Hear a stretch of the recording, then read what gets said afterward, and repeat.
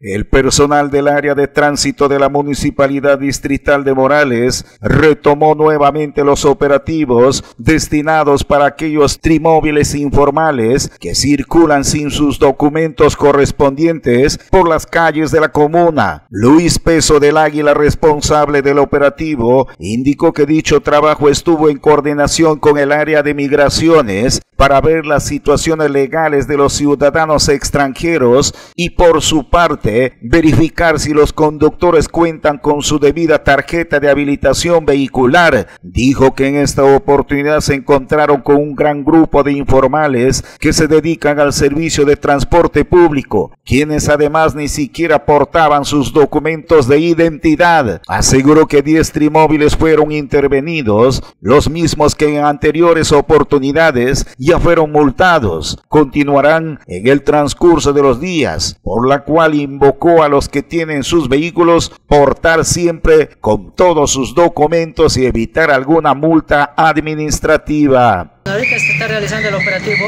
Juntamente con migraciones por parte de la municipalidad lo que es, lo que es la habilitación vehicular. Y hay migraciones todo lo que son extranjeros. ¿no? Juntamente con la PNP y Serenazgo se viene ya ejecutando su trabajo en conjunto para poder disminuir el índice pues, de informales, de informalidad que hay en los conductores, tanto este, extranjeros como peruanos, ¿no? Se viene haciendo este operativo. ¿Qué es lo que se está encontrando este, hasta el momento, señor Luis? Se está encontrando bastante informalidad por parte de los conductores. No, no traen lo que es ni hasta el DNI, no vienen trayendo. Según aducen, que se han olvidado, que no lo usan, dice, para servicio especial de pasajeros, pero ya están transitando pasajeros.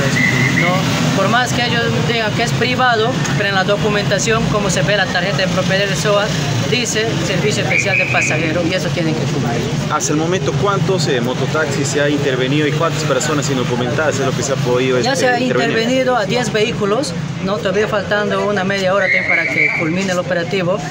¿no? Bastante informalidad por parte de los conductores, ¿no?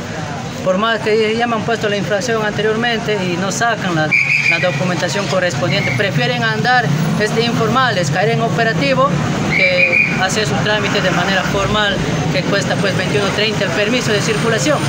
En el tema de la tarjeta de circulación, ¿qué es lo que aducen al momento de ser intervenidos los mototaxistas? Que es vehículo privado, que no lo usan para llevar pasajeros, que están enfermos, que están apurados, ¿no? Cosa que, que pues no, no, no son excusas ¿no? para no tener la documentación. ¿Cuánto tiempo demora en poder tramitar este documento tan importante para estos mototaxistas en El permiso de circulación en la Municipalidad de Morales nosotros otorgamos en un día, dos días, ¿no? ya está la habilitación vehicular.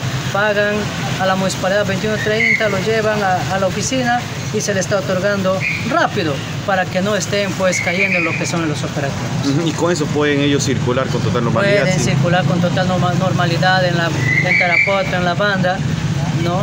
y el permiso le va a servir para eso. Eh, señor Luis, lo que en ese operativo también está presente Migraciones, la cual está haciendo un eh, importante operativo con los eh, ciudadanos extranjeros.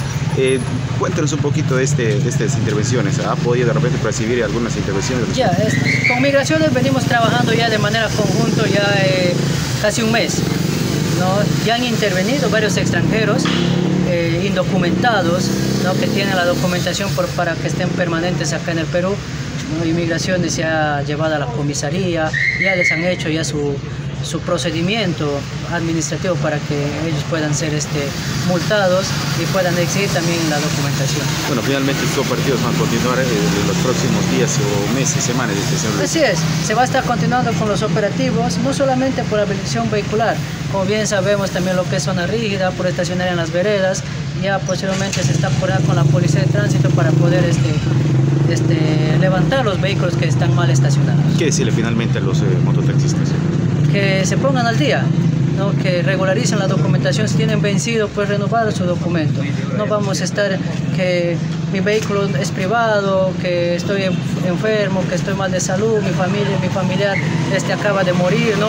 Ponen toda excusa para no estar en ese plan, pues exigir que se pongan al día, saquen la prisión vehicular que les cueste solamente 21